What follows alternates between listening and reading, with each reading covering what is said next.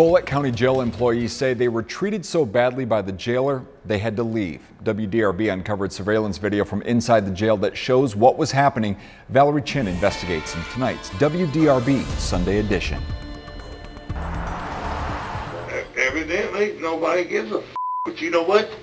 They're going to start giving a f I guarantee you they are. June 19th. Are you afraid to call me? Yes, sir.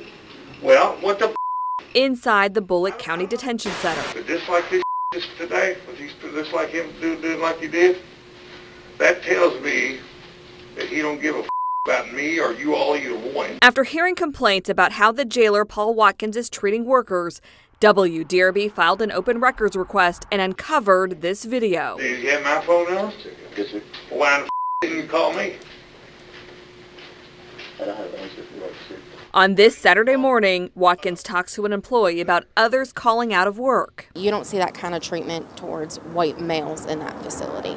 You never have any problems with white males. It's either a females or someone who's of color or a different uh, background. Britny Costa is a former internal affairs captain at the jail and says her sexual orientation made her a target for Watkins discrimination. Me being with a female and he's made it very clear that he does not agree with my lifestyle or my partner's lifestyle at that time um, and he's made it very clear to others uh, using very derogatory statements. Um, um, it's just very degrading. I've gotten complaints about harassment, um, the way that he, he tells, treats them, speaks to them. Wayne McMillen is a FOP chaplain, former jail employee, and is on the Bullitt County Sheriff's Merit Board. He treated most of the white males with respect.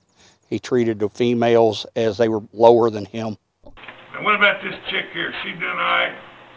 I come in here for a an examination. Employees say it's a pattern of behavior that has led to a string of lawsuits against Watkins alleging discrimination, racism, and inmate mistreatment. I was asked to do a description of kind of my issues and my concerns, and as you can see, I mean, I have pages and pages of. Costa is working with an attorney on a new lawsuit against the jailer. What did he say specifically? What language did he use that crossed the line?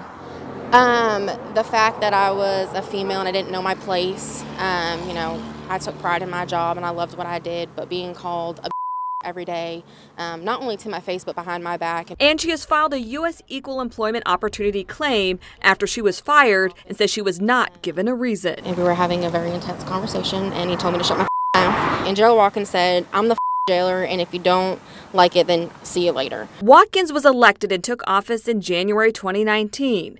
The Bullitt County Judge Executive has said he can only appoint a new jailer if there's evidence of financial wrongdoing. There's no standards and there's no accountability. WDRB reached out to Watkins several times asking him to tell his side of the story, but he never responded. This is what he said in the jail surveillance video. If y'all get some of some in here, you think I'm bad, they ain't gonna be, hell, they'll be worse than I ever dreamed of being. Valerie Chinn, WDRB News.